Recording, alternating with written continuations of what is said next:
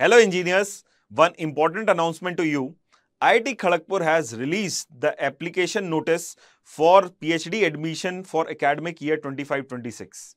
So you have to just visit the website of IIT Kharagpur to check this notification. So you can see here, this is the PhD admission application for the autumn semester 25-26. The online applications are invited for the admissions in the PhD program. It's a regular PhD program if you belong to any category, then you have to download this format of the certificate and you have to upload this after filling all your details. Right, so application fees for SCST category is 500 rupees and for unreserved category it is 1000 rupees. It is a detailed application information brochure for you. So you can check out this here are the important dates. Commencement of the online application form submission has already started from 5th of February. The website closure or the last date for submission is March 31st. Then you can see this last date for the receipt of hard copy of the completed application for PhD through project category only is April 2nd.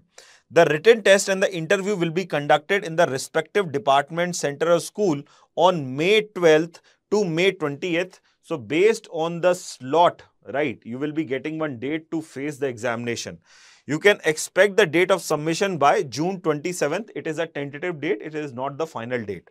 You can see this. First, you have to fill in the online application form and you have to take out uh, the printout of that online application form and keep it to yourself. You don't have to send it to IIT Kharagpur. This is just for keeping some record about your online application status. Next, you have to make the payment and submit the application form. Third one is you have to take the printout, but you don't have to send it to IIT Kharagpur. You just keep it for your record. Then the shortlisted candidates based on the gate score will be given a tentative date for the written test and the interview. The final selection will be based on the gate score, written test and the interview. That will be conveyed to you using the mail, right? So no hard copy transmission will take place. Everything will be online. The only thing is you have, if you belong to any category, you have to download the format, fill in the detail and upload that certificate while filling up the application form. So I hope this information is useful to you.